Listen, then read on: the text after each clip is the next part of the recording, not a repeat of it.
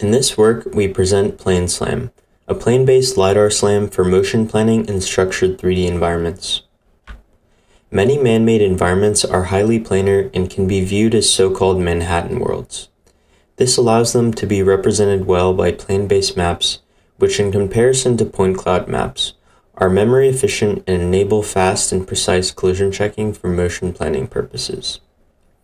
Thus, the key contribution of our work is to perform SLAM with motion planning in mind, generating lightweight plane maps from LiDAR point clouds in real time, which can then be directly used for downstream motion planning.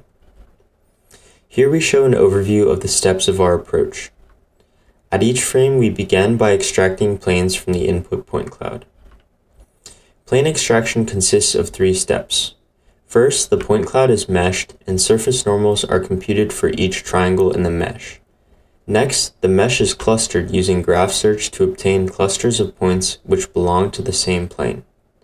Finally, a plane is extracted for each cluster of points.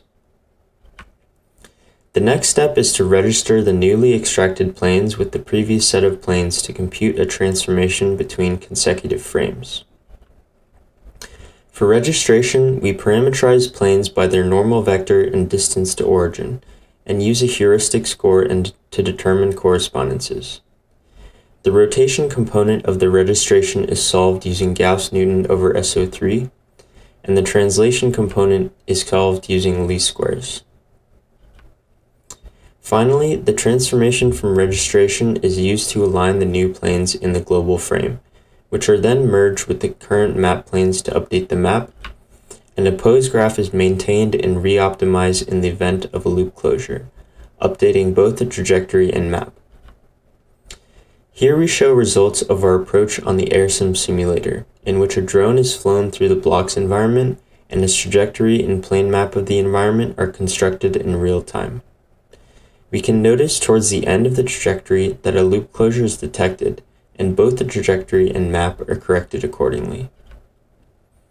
We also verify PlaneSlam on real-world hardware using a ground rover equipped with Velodyne VLP16 LiDAR navigating in a cardboard box environment. Again, a loop closure occurs at the end of the trajectory, correcting both the trajectory and the map.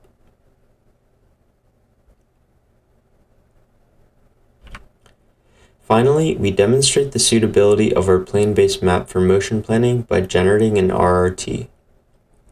Due to the speed of collision checking, we can generate an RRT with 500 nodes in just 0.2 seconds.